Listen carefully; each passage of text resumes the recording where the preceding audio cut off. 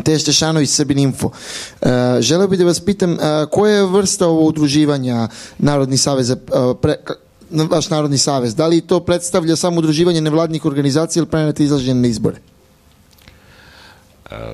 Mi se udružujemo radi postizanja ciljeva od dva osnovna cilja koje smo koja smo postavili u našoj deklaraciji, to su Slobodna Srbija i Savez sa Rusijom. Mi smo političke organizacije i mi ćemo, kako da kažem, sva politička sredstva koristiti da za postizanje tih ciljeva. Dakle, koliko god bude u našoj moći. Nadamo se da će svi kojima, koji žele nešto tako biti u stanju da bar koordiniraju svoje delovanje, ali mi e, e, smo u ovom času e, spremni da sve kažemo do kraja otvoreno i pozivamo, verujemo, osjećamo da imamo potencijal da nam se priključi jedan veliki broj ljudi koji do sad nisu mogli i udruženja da pronađu formulu za za svoje političko delovanje, odnosno e, ne bih to čak nazvao ni klasičnim političkim delovanjem.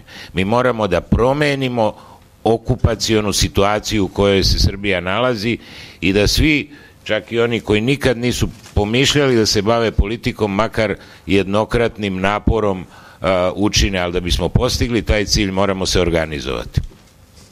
E, još jedno pitanje, da li planirate bilo kakve odnose sa dverima, DSS-om i Srpskom radikalnom strankom? E, ja, kao što sam već rekao, znači, e, e, mi delujemo u skladu sa ovim proklamovanim ciljevima i e, e, verujemo i želeli bismo, znači, da bi, da bi se situacija u Srbiji promenila.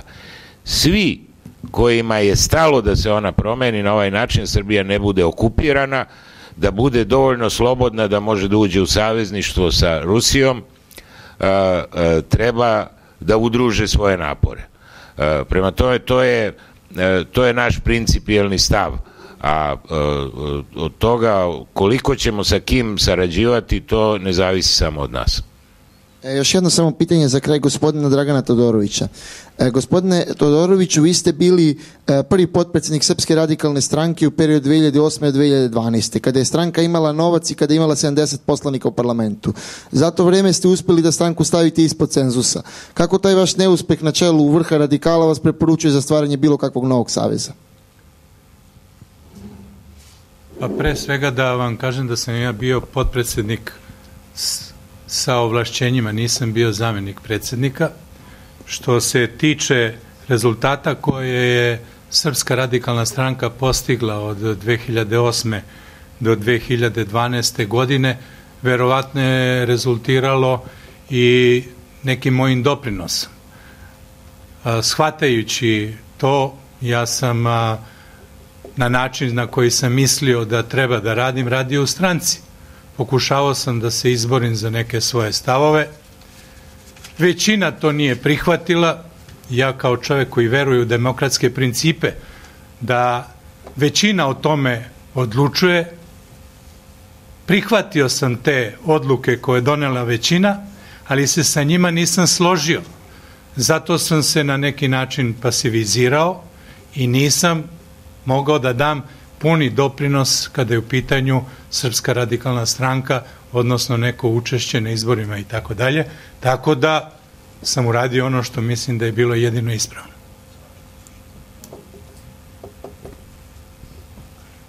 Ako dozvolite, mislim da je uključen mikrofon, jeste? Ako dozvolite, vidim ovaj, u kom pravcu idu vaše pitanja, da neke stvari pojasnimo. Mlad ste, mlad ste čovek, vidim da ste politički dosta ovako edukovani. Prošlo je vreme da samo političke partije odlučuju o sudbini naroda i države. To je nešto što je prošlost politička. Političke partije su se ne samo na ovom prostoru, nego u čitavom čovečanstvu kompromitovale prerastajući iz partijskog delovanja u partokratsko delovanje. Vi to možete danas videti. Postoji li ikakva ideološka razlika između svih partija koje se danas nalaze na srpskoj političkoj sceni? Veći pluralizam je postojao u vreme Tita, u okviru onog komunističkog režima, u raznim frakcijama, kako su se tada zvale, nego u današnjim različitim partijama. To je ono zbog čega mi hoćemo da pokažemo da nisu samo partije one koje će odlučivati u sudbini zemlje. Naravno i one, ako se prizovu k pameti i shvate šta su srpske nacionalne interese.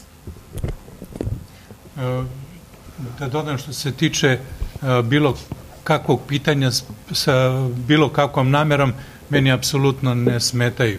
Držim se onoga pravila da ne postoji a, glupo pitanje, nego samo može da bude glup odgovor, tako da sam potpuno raspoložen da odgovorim na svako pitanje. Dobro, da li ima još pitanja?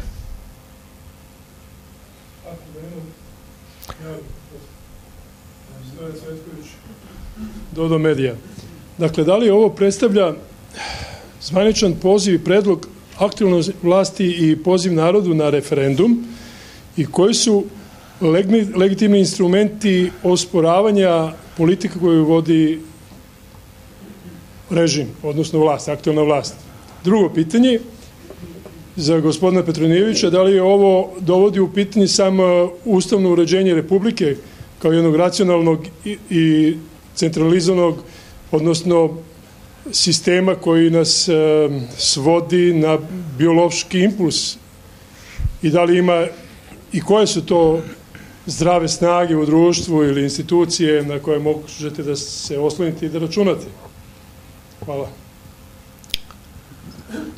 E, što se prvog pitanja tiče, ja bih e, rekao sledeće. Mi u Srbiji danas imamo jedan potpuni raskorak između političkog osjećanja većine njenih građana, znate, po najrestriktivnijim onim anketama e, ovaj, prozapadnih agencija, preko 70% građana je protiv NATO-a. Znači, volja građana, takođe ogromna većina je za savezništvo sa Rusijom. Volja građana se ignoriše od strane vlasti i u takvoj situaciji politički procesi ne funkcionišu na normalan način. Znači, nema uslova da se narod normalno demokratski izjasni dok sve institucije u ovoj zemlji kontroliše NATO pakt, odnosno zapadne tajne službe. Mi smo kao pokret za Srbiju e, pre izvesnog vremena pokrenuli jednu inicijativu da upućenu najvišim organima države da se javnosti da objašnjenje koliko i po kom osnovu zapadnih oficira sede u najosjetljivijim strukturama ove države, gde uopšte nijedan stranac ne bi trebao da uđe. Oni dakle kontrolišu u Srbiji i sferu bezbednosti, do čega im je najviše stalo, kontrolišu financije i kontrolišu medije. Pogledajte i vlasničku strukturu medija i, i njihovu uređivačku politiku koja je kopija a, obrazaca a, zapadnih medija. A, mislim tu na one naj, najveće medije, najbogatije u Srbiji. E, dakle, e, e, put promene izražavanja volje naroda je organizovanje i iskazivanje otpora. Znači, moramo se uvereni i u stručnost i kompetentnost brojnih stručnjaka u Srbiji, nadam se da je naša konferencija za štampu delimično doprinela tom utisku, a i uvereni u moralnost i ispravnost svojih uverenja kao građani, moramo se svaki dan e, na svom radnom mestu, u svakoj životnoj situaciji suprotstaviti toj nenormalnoj situaciji, tek kad to budemo uspeli da iskažemo, stvorimo takvu atmosferu, e, sva ova okupacijana konstrukcija srušit će se kao kula od karata. Naravno, to, e, kako da kažem, ne može da se desi preko noći, nije jednostavno, potrebna je i organizacija i upravo e, stvaranju takve organizacije mi želimo da doprinesemo. Ako se slažete, ja bih samo kratko dodao. Mi smatramo da na potpuno legitiman i legalan način funkcionišemo, izražavamo svoje političke stavove. Šta će biti i kako će biti zavisi od vremena, zavisi da li će ovo naići na prihvatanje od drugih političkih faktora. Ukoliko to bude dostiglo određenu snagu, a, koristit ćemo sva dozvoljena sredstva da se izborimo za svoje političke stavove.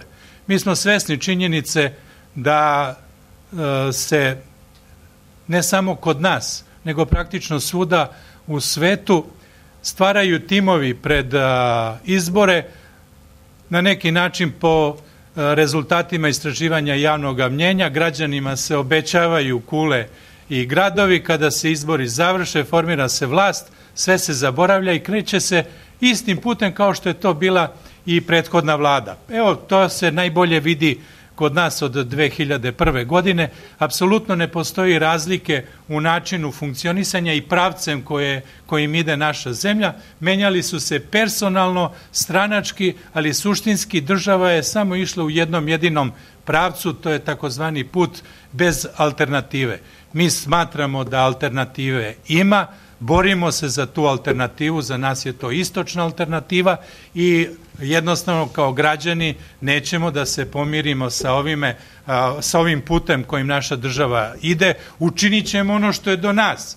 Ne možemo mi da se zapalimo ovde na trgu Republike ili kako ga već ovaj, zovu, nije bitno, ali mi hoćemo jednostavno da se naš glas čuje, da li će biti prihvaćen ili ne, pokazat će vreme. Ako dozvolite ovo pitanje koje ste vi postavili, pretpostavljam da se odnosi na odnose sa NATO-om, nisam najbolje razumeo. Klimite mi glavom. Dakle, ono aktivnosti koje se preduzimaju sada, koje su vezane za Oprostite, odnosi se na uzurpaciju vlasti. De facto imamo jednog čovjeka koji vlada državom i parlamentom. Izvijem se, nisam vas dobro razumeo. U redu je, onda znam, znam na što se odnosi. Naravno da je uzurpacija vlasti od strane izvršne vlasti kod nas dovedena do blizu sijanja mnogi hoće da, da kažu i tvrde, možda i argumentovano, da to predstavlja uvod u neki, nekakav apsolutizam. Uh, klasičan teoretsko-pravni model apsolutizma je danas nesprovodljiv i zbog toga to ne može da se na taj način posmatra, ali u svakom slučaju tripartitna podela vlasti na sudsku, zakonodavnu i izvršnu, koja je osnov svake demokratije i liberalnih ustava sveta i dostignuća liberal, liberalnog perioda razvoja, ljudskog društva je poništen. Neoliberalni kapitalizam vodi ka dedemokratizaciji, nemate ni jednog zakona koji se donosi zadnjih 20 godina da u njemu nemate odredbe kojima se smanjuje korpus ljudskih prava. A na ljudskim pravima, koja su dovedena bila do najvišeg nivoa, je izgrađen liberalni kapitalizam kao najveše vrednosti. One se sada poništavaju, mi se nalazimo u toj fazi, dakle, dedemokratizacije i fazi jednog modernog načina postupanja i organizacije država sa ograničenim suverenitetom ili država pod okupacijom kao što smo mi. A to je da izvršna vlast zajaši zakonodavnu i sudsku, stavi je pod svoju kontrolu i faktički izvrši jednu vrstu puča. To je situacija u kojoj se mi nalazimo. A, da li ima još pitanja? Ako nema, e, ja se svima zahvaljujem što ste došli.